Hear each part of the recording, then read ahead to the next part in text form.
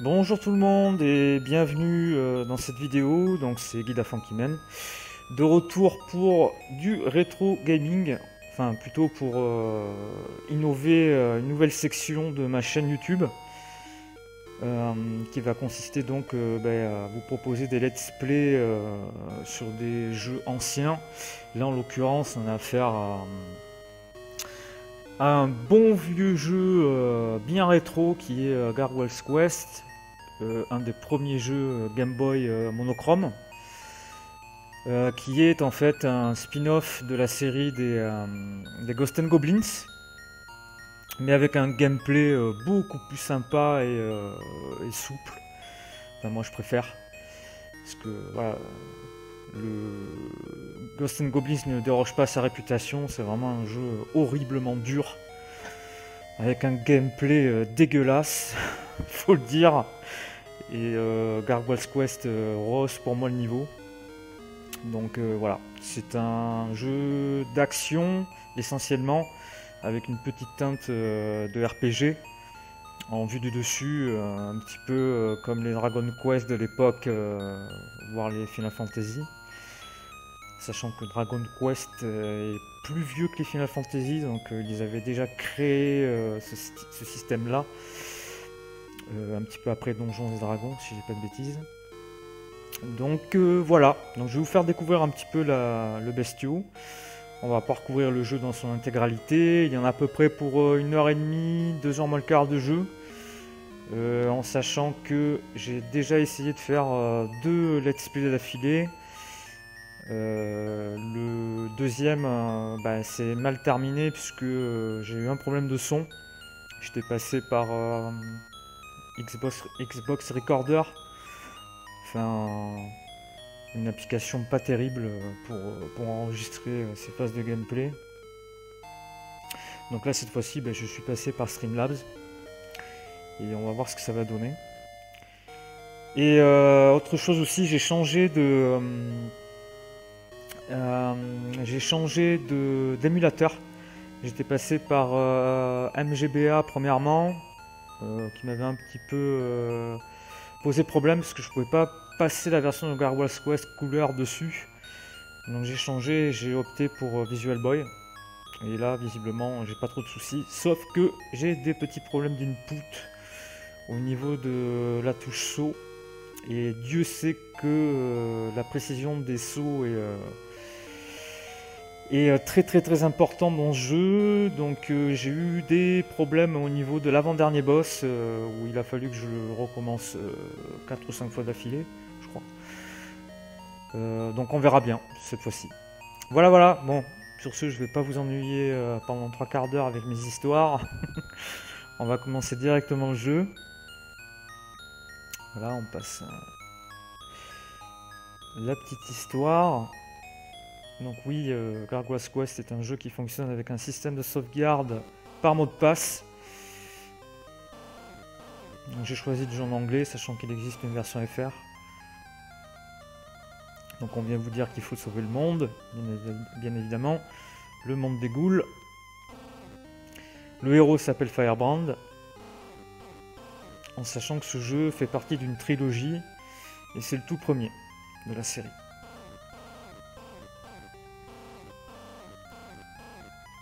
Alors comme le jeu fait quand même à peu près 2 heures, euh, je pense que je vais le diviser en 3 ou 4 parties. Donc ça c'est la version, euh, voilà, la, vue du dessus dont je vous parlais tout à l'heure. Donc ça c'est quand vous vous baladez dans, le monde pour discuter avec les gens, vous déplacez d'endroit en endroit. Et euh, dès que vous entrez en fait dans le mode action, on passe en scrolling latéral. Donc là vous avez différentes options, comme dans les jeux de rôle un petit peu à l'ancienne. Donc parler, utiliser euh, votre niveau et check pour, euh, pour essayer bah, de, vérifier si vous pouvez ramasser tel ou tel objet. Donc là au niveau, vous pouvez voir qu'on n'est pas très haut. On a un point de saut, un point de vol et euh, deux points de vie. Voilà. Aucune magie et aucun objet.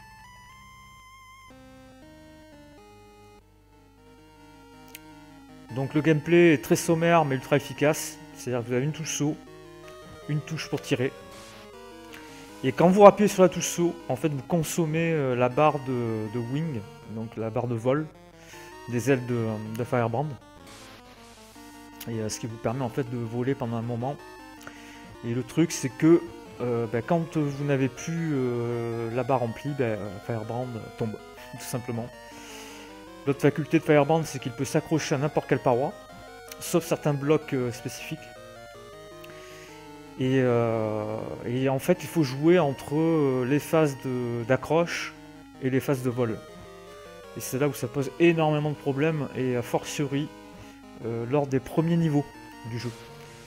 Qui pour moi sont vraiment les plus retors, tout niveau confondu. je dirais que ce niveau-là, le deuxième donjon et l'avant-dernier niveau sont les plus compliqués du jeu. Celui-ci, j'étais tout petit par exemple quand je l'ai fait. Euh, pour venir à bout du premier boss, il m'a fallu. Euh, je crois qu'il m'a fallu des heures et des heures de pratique. Euh, c'est infernal quoi. Parce que vous allez vous en rendre compte, il y a énormément de pièges comme ce genre de pic. Il faut bien gérer la durée de vol. Jouer par exemple avec le, fait que vous soyez pas totalement sur la pique pour pouvoir vous accrocher. Voilà. Donc les fioles, à quoi ça sert? Mais Vous allez pouvoir les échanger plus tard euh, dans les villages. Vous aurez droit à des marchands en fait qui vont euh, vous en échanger contre des vies.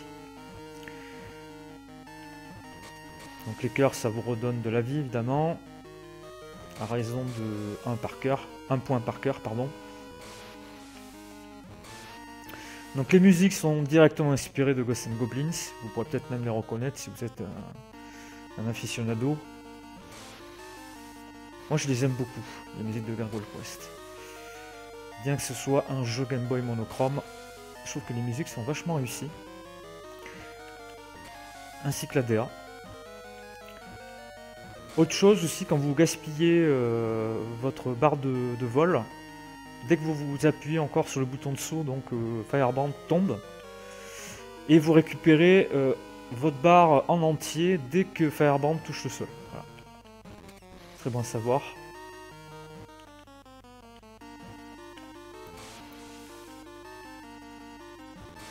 Donc ça c'est une espèce de vase euh, dans laquelle vous pouvez faire plusieurs sauts. En fait il y a comme différents layers.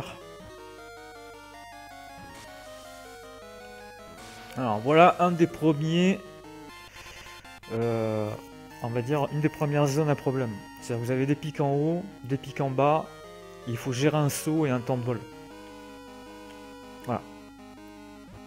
Alors pour l'instant c'est facile, mais il va y avoir une zone un petit peu plus loin euh, qui euh, va demander un petit peu plus de, de skill entre parenthèses. Hop, là par exemple c'est un piège. Là, nous avons le premier boss. vous voyez, c'est très rapide pour, pour l'atteindre. Mais je peux vous jurer que quand vous n'avez pas le gameplay en main, que vous avez 8, 7-8 ans, mais c'est pas évident quoi. Je sais que j'en avais chié. Euh, j'en avais grave chié à l'époque. Le boss est assez punitif si on touche, je crois que c'est le one shot direct. Donc on va pas s'amuser à l'approcher de trop près.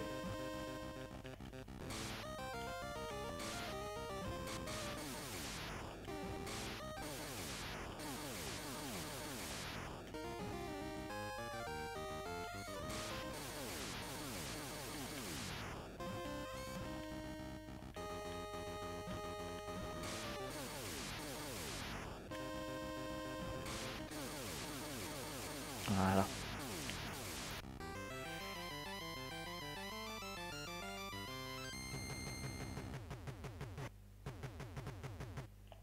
Donc voilà, c'est un jeu de plateforme très euh, classique, sauf que voilà, on a, une, on a un temps de vol euh, en rappuyant sur la touche saut. Et là, on repasse en vue de dessus. Et là, vous allez vous rendre compte que euh, ben, on rentre dans un système très classique Final Fantasy Dragon Quest, voire même Zelda 2 pour l'époque, c'est-à-dire que quand vous vous baladez, bah, vous vous faites agresser systématiquement par, euh, par des ennemis. Voilà. Et là on passe en vue latérale. Et c'est tout le temps, tout le temps, tout le temps comme ça.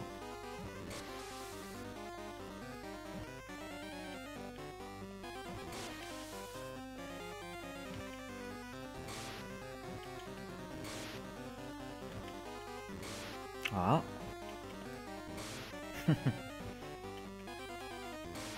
voilà. Il y en a d'autres. Ok.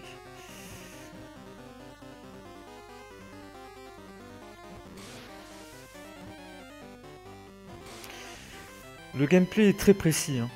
Mine de rien. euh, C'est pour ça que quand je vous racontais que euh, j'avais eu des problèmes avec. euh,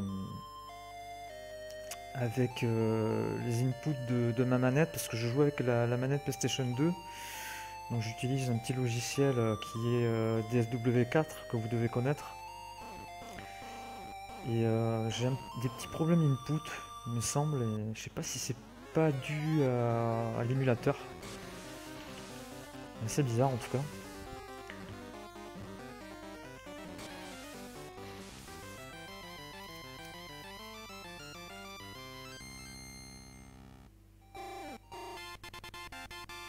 Voilà, donc à chaque fois qu'on tue un ennemi, euh, on obtient des, fioles.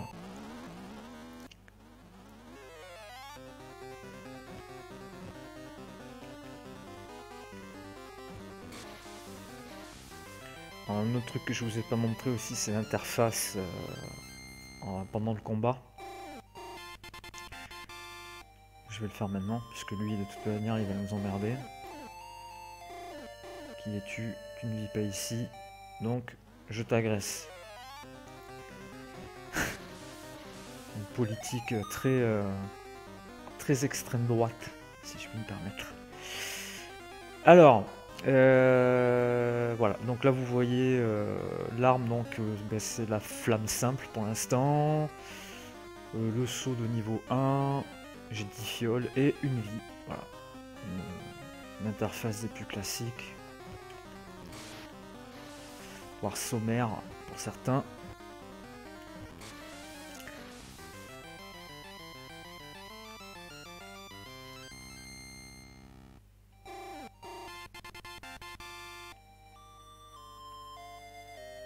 Donc là, on va arriver au prochain village.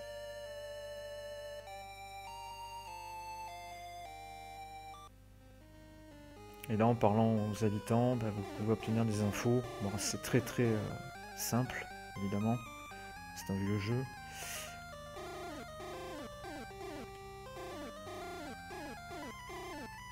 Voilà. Lui, il m'indique par exemple que dans le monde euh, des ghouls dans lequel nous sommes, euh, je pourrais ramasser un objet en fait qui me permettra de, euh, récupérer mes PV. Un objet qu'on obtient un petit peu plus loin. Ça, c'est le bonhomme que l'on trouve dans chaque village qui nous donne en fait euh, notre mot de passe. Bon, là, je vais pas m'en servir parce que je vais faire le jeu d'une traite. Voilà. À l'ancienne, je vous l'avais dit. Le jeu est de 1991, pour info. Donc oui, ça date.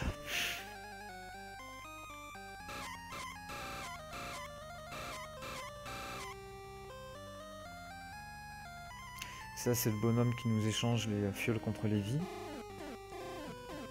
Au départ, ça commence avec 8. Ah, normalement, il ne me reste plus que 2, donc je peux plus rien échanger.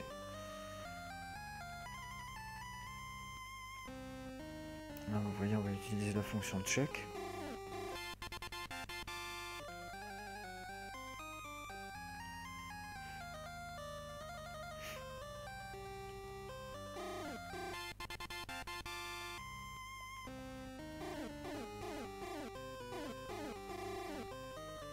C'est baron Jark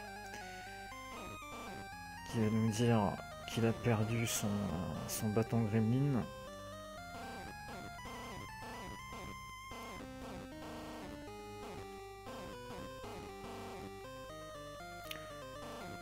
Donc oui, on va lui ramener.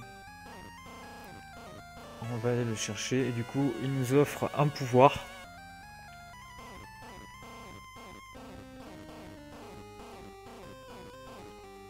Voilà, qui nous permet de sauter plus haut, en fait.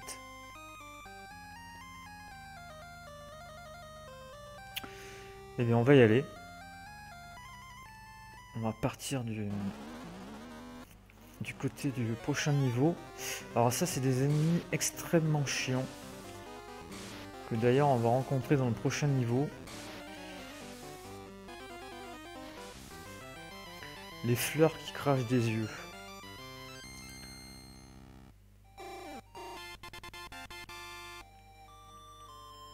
C'est un PNJ qui s'est perdu. J'ai jamais vraiment compris ce qu'il foutait là.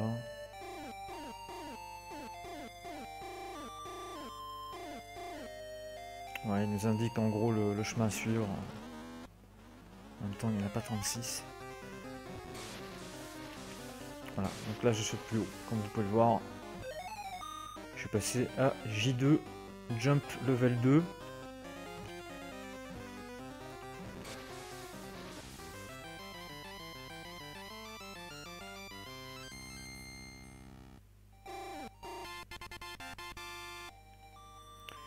Voilà le fameux pont que je n'aurais pas pu traverser si je n'avais pas euh, mon nouveau saut. Parce qu'en en fait, il faut atteindre ce bloc là. Voilà.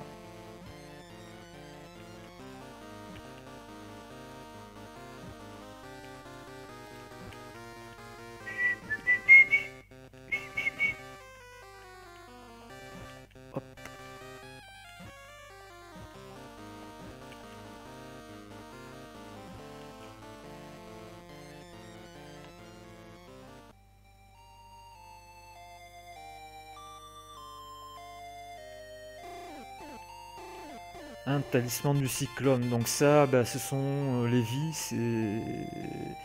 C'est ce que nous échange en fait le, marchand euh, situé dans le village.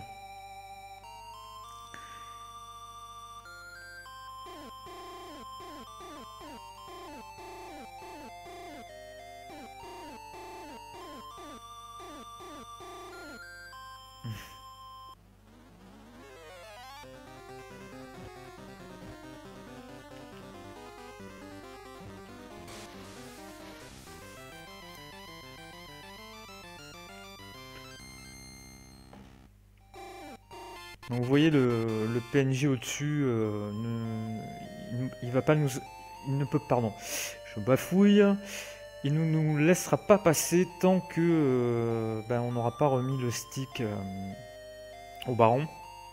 Et il s'agit du chemin suivant en fait.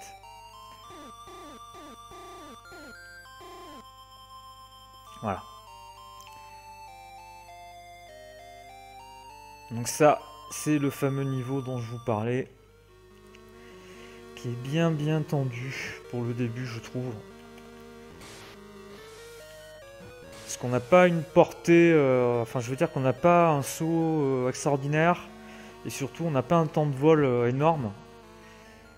ce qui fait que voilà, il faut faire vraiment attention avec les différents ennemis, les différents pièges. vous allez vous en rendre compte dans pas longtemps. Il y a quelques petits trolls en plus. En l'occurrence, celui de droite, là. Voilà. Là, en fait, à droite, vous avez... Euh... Je ne pas de bêtises. Vous avez une succession de dieux comme ça. Euh, et en haut de la pente, je crois qu'il y a une fiole. le truc euh, vraiment insignifiant, quoi. Il sert à rien. Et euh, en fait, c'est même pas la peine d'y aller, quoi. Là, le chemin à suivre est par là. Avec notre ami l'abeille redescendre, non? Elle veut pas? Bon. Tant mieux alors. Ah, vous voyez, il faut jouer avec le, temps de vol, le saut, euh, le fait de s'accrocher au mur. Voilà, un petit passage critique du début. Hop.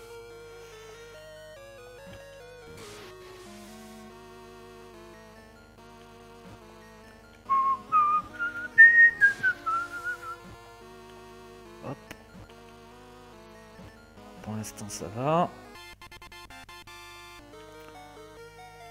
C'est là où ça commence à se corser. Voilà.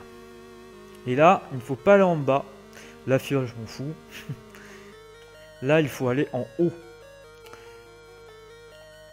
Voilà. Premier fail.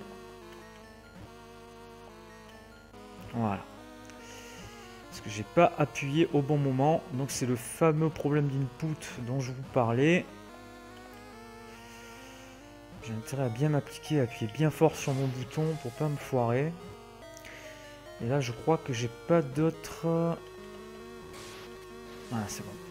Euh, là, l'idéal, c'était de, tuer la plante avant qu'elle crache l'œil. Et ouais, je crois que j'ai pas de, de cœur d'ici le boss. Donc, faut que je fasse avec. Heureusement, il y a un petit checkpoint pour revenir euh, dans les environs. Hein.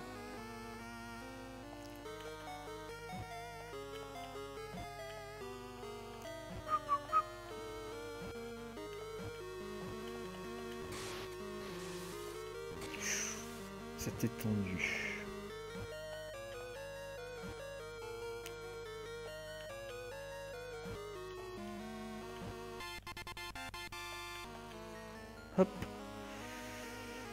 Ah oui, c'est pas, pas évident, évident. Donc là, le boss.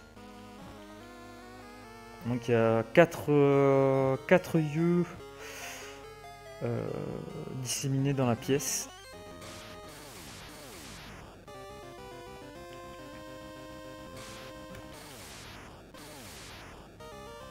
Il faut les éliminer un par un.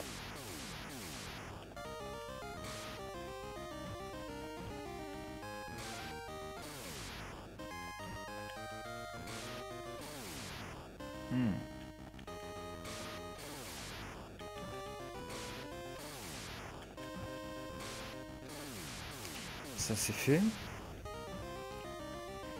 lequel faire en premier? Celui de gauche ou celui de droite?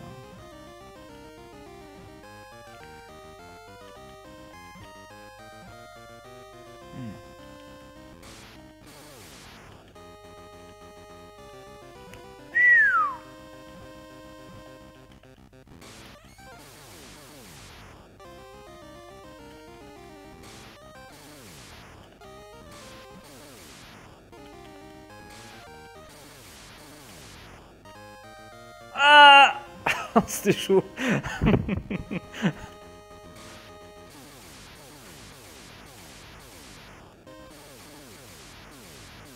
ouais, je l'ai eu. Putain, c'était chaud quoi. Je m'étais foiré la première fois que je l'avais fait. Et là, le truc Vislar, c'est que bah, il vous enlève pas les pics, donc euh, voilà. Il faut vraiment faire gaffe. C'est à gauche que ça se passe. C'est bon, on a terminé. Donc on a obtenu le bâton gremlin.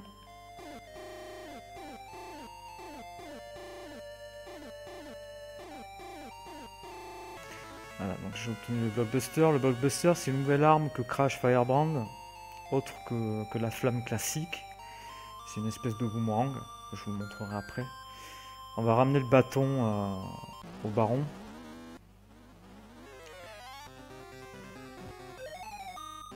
Hop, le voilà. Donc eux, faut faire très attention parce qu'ils one-shot. Du moins pour l'instant.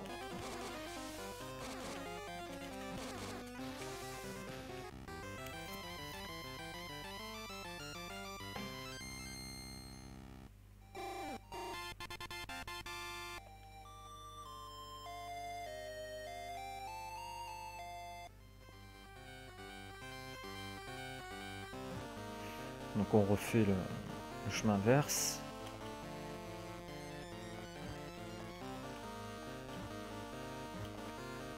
Me souviens plus c'est des flammes one shot ou pas. On va éviter de vérifier, n'est-ce pas?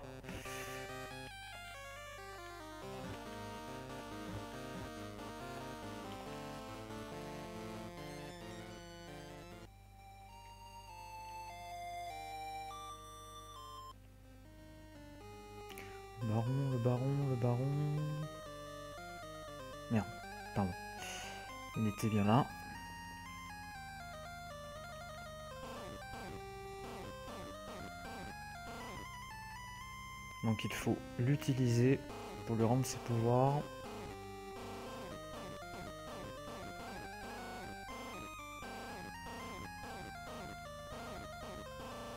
Voilà, il me remet la bougie du spectre. Poltergeist, je crois que c'est un spectre.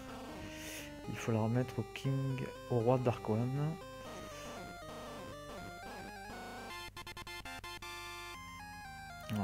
Et là maintenant on va pouvoir euh, rendre visite euh, au PNJ de tout à l'heure. Je vous propose euh, voilà, de faire une petite pause, enfin en tout cas c'est ce que je vais faire de mon côté. Allez c'est reparti.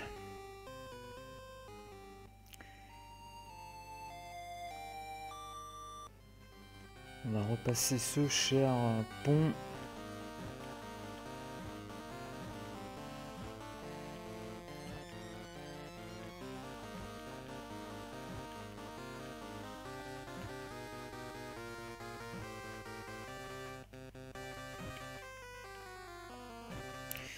J'aurais dû acheter des... Oh, remarque. Je les prendrai plus tard. De toute manière, il y a des villages euh, très régulièrement. Pour acheter des vies.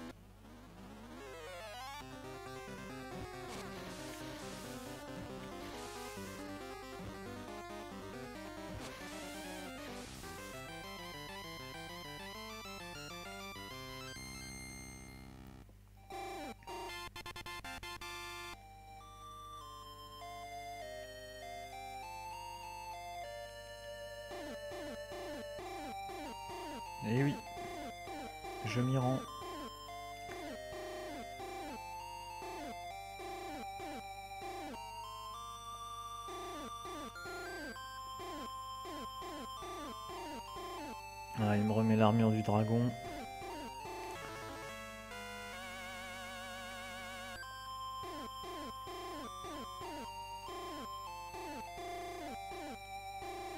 Voilà, on a gagné un point de vie.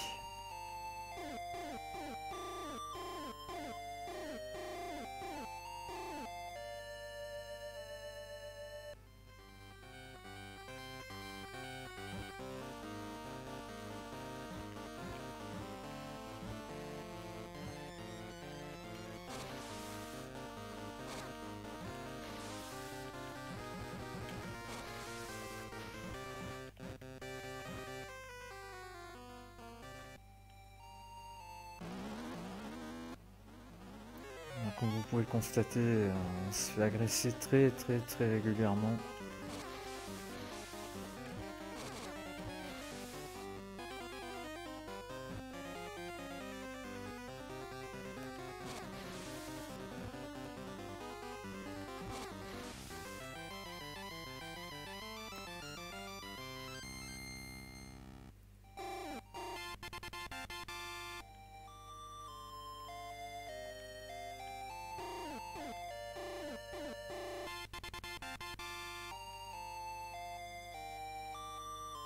Il y a beaucoup de, villages intermédiaires également.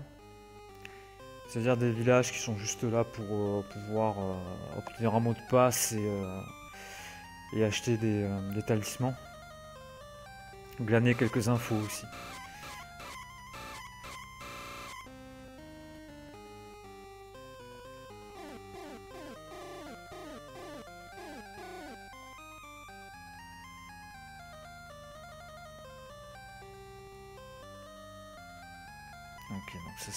Passe. On va voir le bonhomme pour les, euh, pour les vies. Voilà. Donc on est toujours à, à 8 fioles. Ça va vite augmenter. Alors malheureusement on ne peut pas en acheter plusieurs à la fois.